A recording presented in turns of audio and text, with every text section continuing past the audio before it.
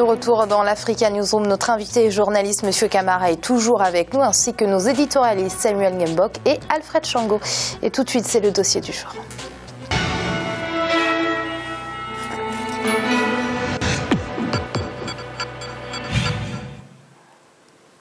Depuis les années 1990, un vent de démocratisation souffle sur l'Afrique. Le multipartisme a donné euh, naissance à de nombreuses formations politiques sur le continent. Près de, décennies, près de deux décennies après, les fondateurs de ces partis sont de plus en plus poussés à la sortie par des jeunes qui veulent un renouvellement de cette classe politique. La jeunesse veut porter ses propres aspirations, estimant que l'ancienne élite est en déphasage avec ses ambitions. C'est un reportage de nos correspondants Wendiam Valentin Compaoré et El Hadjendiaï.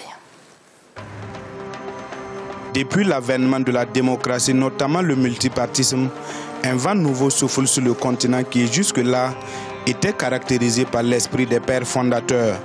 Les partis politiques se créent, des socialistes, des libéraux ou encore des communistes, tous dans l'optique de conquérir le pouvoir d'État pour réaliser un programme de société au profit des populations.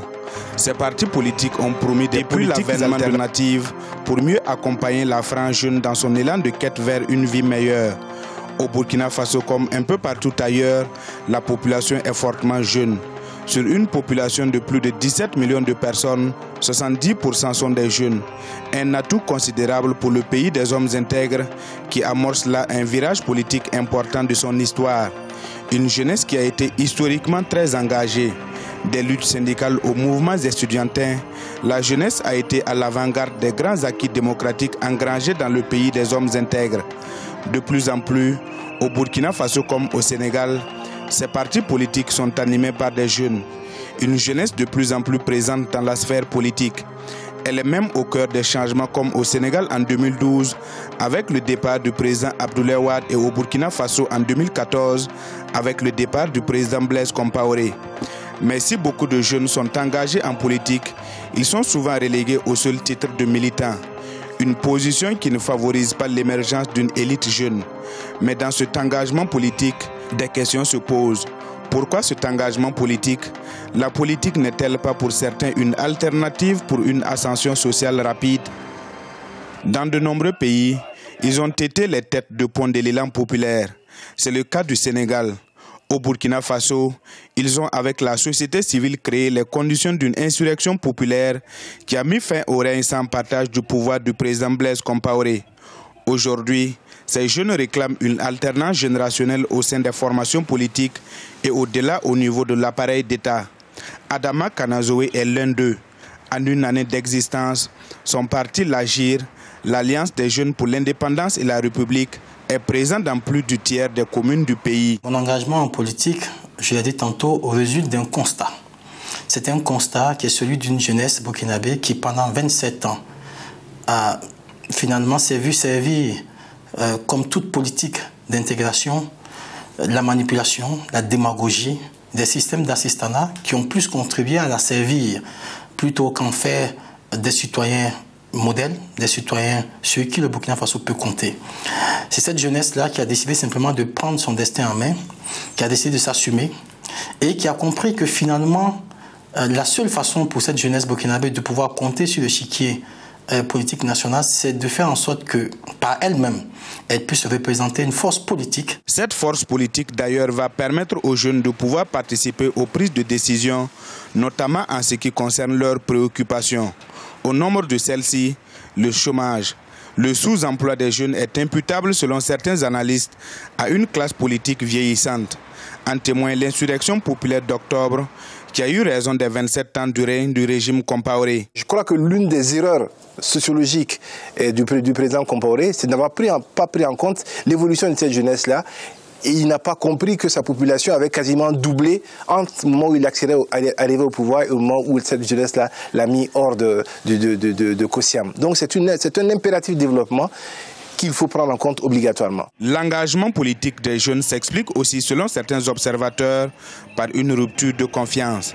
Au Burkina Faso, ils sont nombreux à regretter les différents projets au profit de la jeunesse qui, même initiés, peinent à se réaliser. Pour eux, Ces politiques doivent être portées par des jeunes. Nous avons une génération globale qui a, servi, je parle euh, de, de, la vieille génération, qui a servi et qui est globalement en déphasage ou déconnectée de certaines de nos réalités. Alors, un exemple simple, euh, comment peut-on comprendre et expliquer qu'aujourd'hui, on continue à promouvoir le développement de la jeunesse par procuration? Il est bon que les espaces politiques, économiques, sociaux et culturels puissent enfin être ouverts à la jeunesse en vue d'assurer leur émancipation réelle et véritable. Dans cet engagement politique des jeunes, certains y voient une alternative d'ascension sociale pour s'enrichir. Mais ici comme partout ailleurs, difficile de situer l'engagement politique des jeunes. Entre la conviction politique et le gain facile, les motivations diffèrent. Malheureusement, le parti politique est devenu à cause des 15 dernières années ou les 20 dernières années, est devenu un moyen d'accession à la richesse. C'est devenu un élément de l'échelle sociale. Et on crée un parti politique parce qu'on a envie d'exister autour de la table, parce qu'on a envie de partager, de participer au partage du, gâteau collectif. On ne crée pas un parti politique parce qu'on a des, ambi des ambitions pour son pays, parce qu'on a des idées, parce qu'on a un dessin. Je crois que c'est symptomatique de tous les partis politiques à majorité créés, parce qu'en réalité au Burkina, au-delà d'une dizaine de partis, le reste sont des partis qui tiennent plus à des partis, à des notions plutôt alimentaires qu'à des partis qui portent des idées. Au Sénégal, le pays de la Teranga, la jeunesse est au cœur de l'actualité politique. En 2012, elle a été au centre du débat politique avec pour ambition de s'affirmer. Aujourd'hui, sur l'échiquier politique, son poids est considérable. Pour elle, son heure a sonné. La gestion du pouvoir d'État doit leur revenir. Et pour cela, elle tente d'occuper l'espace politique avec la ferme conviction d'y parvenir. En tant que jeune, je me dis que tout jeune doit faire de la politique parce que nous avons jugé nécessaire qu'à l'avenir, c'est nous qui dirigeons notre pays. Si certains jeunes sont motivés par l'envie de s'enrichir, tel n'est pas le cas chez les autres. Ainsi, certains jeunes se voyant dans l'obligation d'aider leurs compatriotes s'engagent en politique avec l'espoir d'être entendus par les décideurs. Dans la zone où j'habite, on, a, on, a, on avait vraiment, nous les jeunes, on n'était pas vraiment imprégnés dans, dans la politique pour pouvoir s'intéresser à, la gestion communale, par exemple. Parce qu'on avait une commune où c'était vraiment un maire qui était là, qui, était là que pour lui. Et même si les jeunes allaient l'interpeller, il ne répondait pas. Et ça m'a vraiment fait mal un moment. Les campagnes politiques au Burkina Faso, comme un peu partout ailleurs, sont caractérisées par des distributions de gadgets. Une situation symptomatique d'un mal-être social pour certains. Si les euh, jeunes continuent de dire si vous n'avez pas l'argent, bon, quand vous partez parler à un jeune, il dit bon, si vous avez de l'argent, donnez-nous, on va manger. Nous, on peut vous suivre si vous avez de l'argent. Si vous n'avez pas de l'argent, nous, on ne peut pas vous suivre. Donc, euh, je pense que ce n'est pas. Euh, c'est toute la jeunesse africaine qui doit, qui doit revoir euh, ces côtés-là. Vraiment, il faut suivre quelqu'un vraiment qui peut beaucoup faire pour le Burkina, mais pas de prendre un t-shirt avec 2000 francs, comme on dit, quelques jours. Et après, le pays, ça va pas. Le Burkina Faso compte plus d'une centaine de partis et de formations politiques d'obédience diverses. Les élections présidentielles sont prévues pour le 11 octobre prochain. Mais dans ce climat de pré-campagne, les QG des partis politiques affinent leur dernier plan d'occupation de l'espace politique. Alors même que la loi sur le quota de 30% de femmes sur les listes d'élection des partis politiques peine à être effective, certains observateurs souhaitent qu'elle soit aussi instituée pour les jeunes. Une loi qui pourrait accélérer la survenue de cette alternance générationnelle tant souhaitée par les jeunes. Monsieur Camara, les hommes politiques sur le continent sont-ils trop âgés aujourd'hui? Ils sont souvent âgés et c'est le moment de faire appel à nos Obama africains, non pas maintenant en Amérique, des Obama africains jeunes au Cameroun, en Guinée, au Mali, au Nigeria. Il nous faut des Obama africains, non pas en Amérique, mais dans nos pays respectifs. Je souhaite que la jeunesse prenne la relève. Et c'est maintenant qu'elle doit prendre la relève.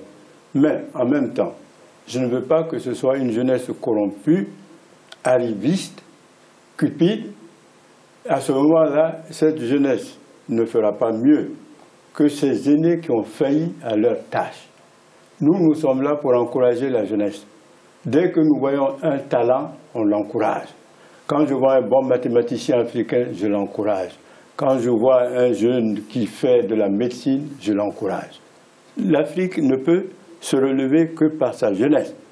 Et je le dis, un continent qui ne fait pas tout pour éduquer sa jeunesse est un continent qui perd. Et nous avons perdu parce que nous n'avons pas su éduquer nos jeunes, parce qu'il faut que ce soit des jeunes qui soient conscients que actuellement la situation est telle, d'abord avec le monde extérieur qui a beaucoup de problèmes, et chez nous, on a encore beaucoup plus de problèmes. Nous voulons des jeunes talentueux, nous voulons des jeunes conscients, nous voulons des jeunes actifs, et nous serons là pour les soutenir. Donc, jeunesse africaine, le moment est venu de prendre la relève.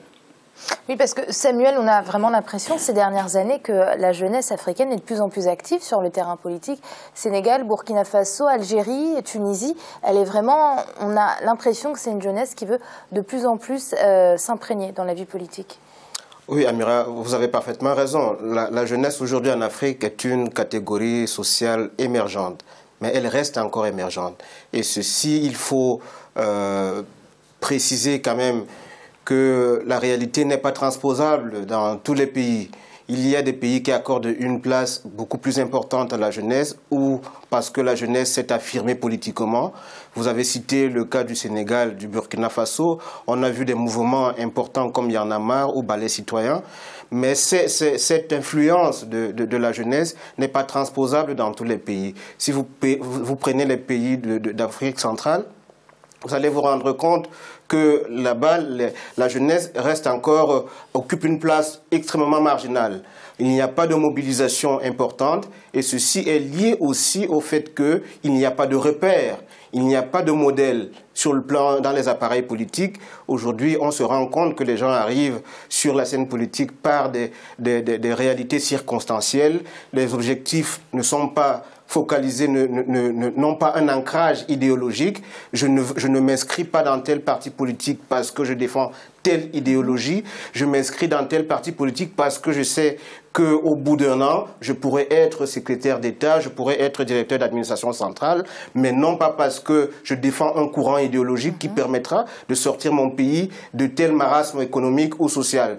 Quel est le programme politique qui est défini au niveau national. Et aussi, l'environnement politique est le reflet du pouvoir central. Euh, euh, légal parce qu'en réalité on se rend compte que euh, tout le monde veut avoir un poids politique pour peser sur la, désignation ou la, formation de tel ou tel gouvernement. On a vu tout à l'heure avec la Tunisie et ailleurs aussi, on voit cette même réalité où il suffit d'avoir quelques euh, représentants à l'Assemblée nationale, au Parlement, pour qu'au prochain remaniement ministériel, on puisse peser dans la formation du gouvernement. Donc aujourd'hui, la jeunesse est euh, malheureusement enfermée dans ce, dans ce carcan qui est extrêmement flou et où il n'y a pas de visibilité. Il y a encouragé des pays comme le Burkina Faso ou le Sénégal où il y a des acteurs politiques de renom. Il y a des gens sur la scène politique qui sont encore vivants, comme Abdou Diouf, qui peuvent mhm. être des modèles pour les, Sénégalais. dans les autres pays, il n'y a pas de modèle en tant que tel. Il n'y a pas de parcours politique. Je suis parti de tel point à tel autre point en passant par tel ou tel obstacle. Voilà ce que j'ai pu défendre. Il n'y a pas de modèle et ce qui tue la jeunesse africaine dans certains pays. Alors, Alfred, on parle d'une jeunesse de plus en plus émergente sur la scène politique, mais est-ce que cette jeunesse a de véritables idéologies? C'est euh, tout le problème, euh, Amira. Euh, on l'a vu dans le reportage, mais ce que la ciné Camara vient de dire ou Samuel montre très bien qu'il y a un sérieux problème de formation idéologique, de formation politique de cette jeunesse-là il y a un problème de conscientisation sur les véritables enjeux politiques qui feraient justement qu'on s'engage euh, en politique.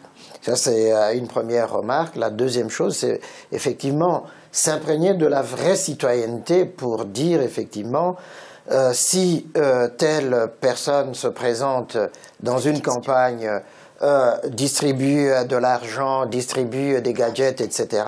Je ne le suis pas parce qu'il distribue ces gadgets, mais parce que je suis un citoyen conscient euh, politiquement et euh, capable de juger euh, par moi-même euh, de la validité du programme ou du projet qui m'est proposé. Et à ce moment-là, effectivement, on peut dire que cette jeunesse a de l'avenir. Or, quand on regarde la situation de la plupart de nos pays africains, la pauvreté, elle est, énorme et la jeunesse africaine est l'une des jeunesses à être frappée justement par le déclassement social ou par la misère, par la pauvreté. Et par conséquent, le premier euh, euh, euh, politicien rotor qui passe par là peut les recruter facilement parce que, ben oui, il y a la question de manger, hein, la politique du ventre, donc on va à la mangeoire. Mais on a vu ce que, en Égypte ce qui s'est passé justement pour chasser Moubarak. Euh, L'incident Camara évoquait, vous l'avez évoqué aussi, la Tunisie et puis la, Libye, hein, on a vu ce qui s'est passé là-bas. Ce sont des exemples pareils qu'il faut effectivement euh, diffusée auprès de toute la jeunesse africaine pour qu'elle s'imprègne justement de sa capacité euh, de euh, subversion, de Parce révolution. Qu'il y a une jeunesse opportuniste, mais il n'y a pas que ça. Non, il n'y a pas que ça, mais quand on regarde dans l'ensemble, il n'y a pas véritablement de colonne vertébrale idéologique qui fasse que euh, on s'engage parce que on a des convictions, parce que euh, euh, on pense effectivement que tel représente des vraies valeurs pour changer la situation. Alors il y a cette idée de promotion sociale qui est là aussi. Moi, je me souviens à l'époque, quand j'étais encore euh, euh, euh, en Afrique, l'université était le canal par où passait cette idéologisation de la jeunesse, cette conscientisation de la jeunesse. Évidemment, c'était à l'époque où le monde était partagé en deux. Hein. D'un côté, la, la, gauche, le marxisme et léninisme, et de l'autre côté, l'Occident. Et donc, la plupart des jeunes à l'époque, mais étaient de gauche. Évidemment, il y avait des formations comme ça, idéologiques fortes. Et puis, avec les, conférences nationales dès les années 90, la donne a changé. Simplement, on n'a pas prévu le passage entre ce moment-là où il y avait des dictatures, des partis uniques et le, début de la démocratisation. Qu'est-ce que ça a donné? C'est l'explosion. On dit 100 partis politiques au Burkina Faso. Moi, je me souviens qu'au Congo-Kinshasa, il y avait plus de 500 partis politiques. Alors, je dis, mais c'est pas possible. ce sont des partis alimentaires, pour la plupart. Donc, il faut effectivement que cette jeunesse se prenne en main euh, se disent mais nous sommes le fer de lance justement du changement et de la transformation de cette Afrique. C'est nous qui ferons l'Afrique euh, de demain. Si nous restons à la remorque justement des hommes politiques retors, évidemment, ben oui, on continuera euh, de la même façon. Alors Samuel La Jeunesse se plaint souvent, hein, selon elle, on ne lui laisse pas la place dans la vie politique dominée par une classe âgée. Mais cette classe âgée, elle est souvent sollicitée par la population. Oui, la classe, elle, elle, est toujours sollicitée par la population. Mais moi, je pense plutôt que la, jeunesse doit se prendre en main. La jeunesse ne doit rien attendre de, de, de, ceux qui gouvernent. Elle doit s'affirmer. Le problème, c'est que... Aujourd'hui, qui l'étouffe La population ou la classe politique? Non, il y a, il y a des constantes, qui, il y a, des, il y a des, des, des, facteurs structurels qui limitent aussi cette capacité de mobilisation. Il faut prendre en compte le facteur identitaire il y a des pays qui restent fortement ethnicisés et où l'on s'affirme d'abord par rapport à son ethnie. Et les partis politiques reflètent généralement cette composition identitaire, et ce qui limite la capacité de mobilisation au niveau national. Donc si la jeunesse n'arrive pas à trouver des centres d'intérêt transversaux, des problématiques communes auquel la, jeunesse fait face, il sera difficile de, permettre à la jeunesse justement de, s'affirmer politiquement. Donc il faut une mobilisation, il faut un dépassement des clivages identitaires. Et pour cela, il faut des leaders charismatiques au sein de la jeunesse qui portent un discours qui puisse susciter l'adhésion de leurs frères ou pas. Donc, s'il n'y a pas de leader charismatique qui puisse tenir de discours, qui puisse susciter l'adhésion des autres, il sera difficile de mobiliser les, autres jeunes. Mhm. Pour aller rapidement dans ce sens-là, mais il a mal tourné malheureusement. Mais c'était euh, le cas de Charles Blégoudet, par exemple qui lui mobilisait mhm. à la jeunesse, sauf que malheureusement il a entraîné dans une mauvaise pente. Il faut des leaders charismatiques comme ça qui savent parler à cette jeunesse, lui montrer quelle est la voie à suivre. Merci Alfred, ce sera le mot de la fin puisque c'est l'heure du rappel des titres pour jouer pleinement son rôle. L'Union africaine doit mobiliser chaque année 522 millions de dollars pour son budget de fonctionnement auquel s'ajoutent 750 millions de dollars pour les opérations de maintien de paix prévues en 2015. Seulement 70% de son budget vient de l'extérieur. L'institution panafricaine veut aujourd'hui être autonome. En Tunisie, euh, la composition initiale du gouvernement du Premier ministre Habib Essid avait été vivement critiquée faute d'ouverture. Il a donc procédé à des changements.